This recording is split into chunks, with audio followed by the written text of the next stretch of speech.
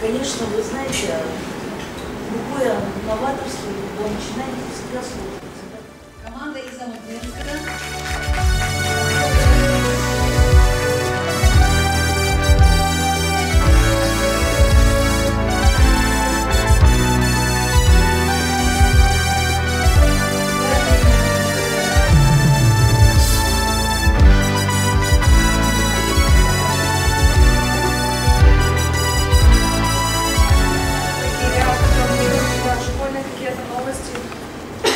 Было летом, можно присылать.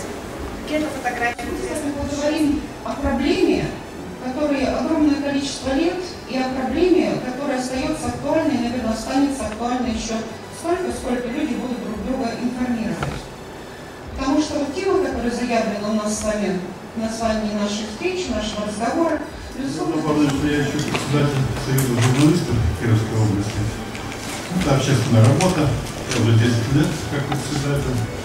Ну, я что мало кто понимает, что это такое. Я сам не сразу начал это понимать.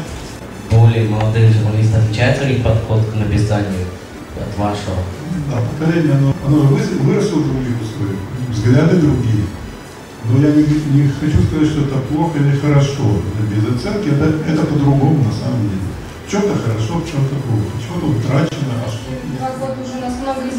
То есть меняется и время, и э, читатель наш тоже изменился, то есть, соответственно, нужно идти, так скажем, в ногу со временем.